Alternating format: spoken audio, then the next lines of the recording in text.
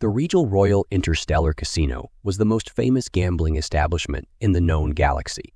Beings from all over came to try their luck against the infamous Rigel House odds at games of chance and skill from a thousand different worlds. In a private high stakes room in the back, a tournament of galaxy renowned poker players was underway.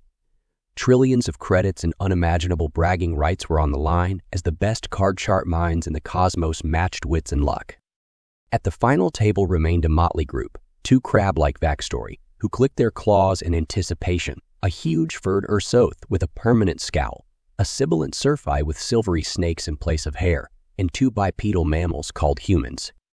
The Ursoth growled as two more cards were dealt. The humans, a male named Jack and female named Alicia, exchanged in subtle glance. The Ursoth thought his tail was well hidden, but the humans could see his left ear twitch almost imperceptibly. He had a good hand. The Vaxstory were harder to read, being so alien.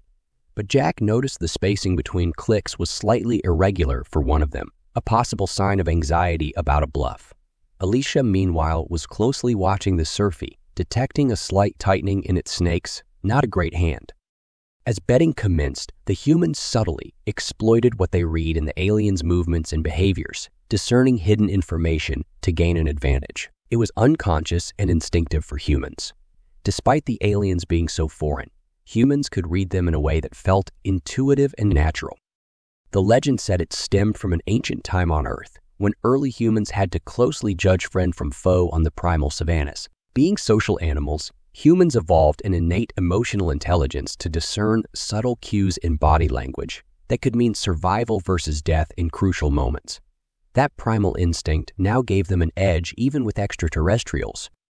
As the poker tournament wore on, the advantage slowly became clear. The Vaxstory's odd clicks gave away several bluffs, allowing Alicia to wisely fold, a nearly invisible sheen of sweat on the neck of the Ursoth. White told Jack its supposedly formidable hand was a ruse, prompting a triumphant all in raise that knocked the huge alien out. Eventually, it was just the two savvy humans versus the cagey Surfi left.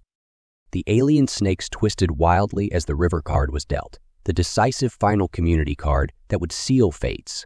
Its eyes narrowed slightly when it saw the card, snakes freezing for a split second.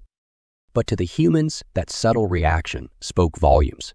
The Surfi liked this card and was now confident in victory. But as Jack and Alicia checked and called the alien's sudden massive raise, their calm demeanor signaled they knew something it didn't. Alicia gently ran a finger across the table as she glanced at Jack's hand. When her digit passed briefly over Jack's wrist, she lightly tapped once with her fingernail. Code between partners, Jack's expression didn't change, but she could tell he understood Alicia had the best hand and would take this pot when at last they revealed their cards, an astonished murmur filled the room. Impossibly, Jack's full house had edged the Surfi's formidable four of a kind. Bedlam erupted as the humans raked in their astounding victory to become the first non Rigelian poker champions. Amid the chaos, Jack winked at Alicia as credits poured in. Nice read on the snakehead, he laughed. And with that uncanny human ability to decode alien behavior, the two friends celebrated conquering the galaxy's premier poker tournament. Many decried humans as having an unfair advantage, being able to subconsciously exploit alien tells. When the Ruby Sector Tribune proposed special rules limiting human participation in major tournaments, galactic gambling commissions rejected the notion outright as absurd and unenforceable. Privately, though, some officials considered it wise to avoid further embarrassing powerful alien gambling interests by overly flaunting human proficiency in high profile multi species games of chance and skill. But others argued humans should not be penalized just for excelling at reading opponents during play. Controversy only grew a year later when Jack and Alicia repeated as Regal Royal champions after another dominant performance afforded by spotting unnoticed alien poker tells. A famous Surfi poker instructor analyzed their play versus his defeated student and declared these mammals read body language better than our own young hatchlings. Either they possess telepathic powers, or these humans have evolved some sixth sense beyond our understanding. As more humans won major poker tournaments across the systems, many aliens became convinced that they did enjoy some unfair biological advantage. Resentment simmered while humans leveraged unwitting biological cues to amass fortunes and gambling winnings. The Force Poker Ability Cap proposed years earlier soon gained more traction and support. The situation finally reached a boiling point during the 50th annual Rapidan Invitational, one of the oldest and largest multi species tournaments in the galaxy. Johnny Mills, a young human barely of legal gambling age, made a dream run to become the first human finalist after dazzling upset victories over two veteran Vaxstory and a renowned Ursoth card sharp thanks to reading their unguarded body language. The polarized reactions made headlines across inhabited space. To many humans and some progressive aliens, it was a triumphant underdog story. A human using wits and instinct to succeed against imposing alien opponents on a galactic stage. They praised Johnny's poker skills and uncanny ability to read opponents, but to conservative alien gambling interests, it was a distasteful spectacle, just the latest example of humans exploiting an intrinsic biological advantage over other species in poker. Citing ethics, they doubled down on demands to formally constrain humans in major poker tournaments for the greater good.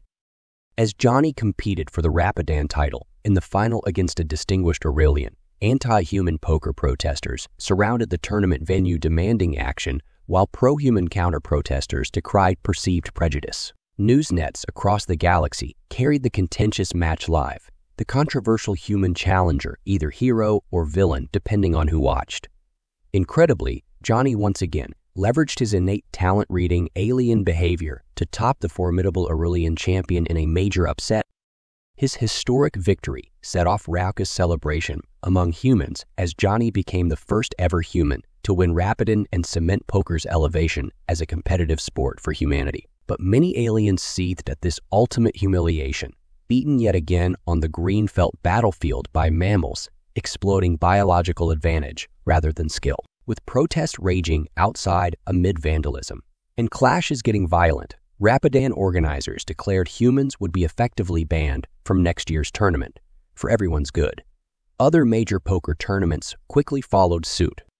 In the years since the infamous Rapidan decision, poker play among humans and aliens has become largely segregated to avoid further controversy. Humans continue dominating the few integrated multi species tournaments still permitting their participation, though often political correctness leads them to bow out of such events voluntarily before galactic resentment boils over. Meanwhile, nearly all human world governments have legalized poker and embraced it with an almost patriotic fervor, leading to explosions in popularity, sponsorship, and legitimization as a sanctioned path to fame and fortune among humans annual Human Poker Global Championships now rival major sporting events in viewership and prize valuations, worth hundreds of billions of credits as top human players become global celebrities. With poker skill now a mark of human competitiveness and superiority in the galaxy, many see the defensive alien ban in integrated tournaments as tacit admission that humans had simply become too inherently dominant thanks to their uncanny ability to read opponents. Yet others call for pragmatism and peaceful competition between species for the greater good, without needlessly inflaming poker politics. But one thing is clear that ancient human instinct for discerning hidden biological cues remains alive and well, granting a dominant edge at the poker tables. And Johnny Mills, the controversial trailblazing champion of Rapidan, best embodied that inescapably innate human talent to read alien tells through some uncanny sixth sense one that may forever change how the Milky Way views poker prowess and those uniquely gifted mammals from the Sol system henceforth.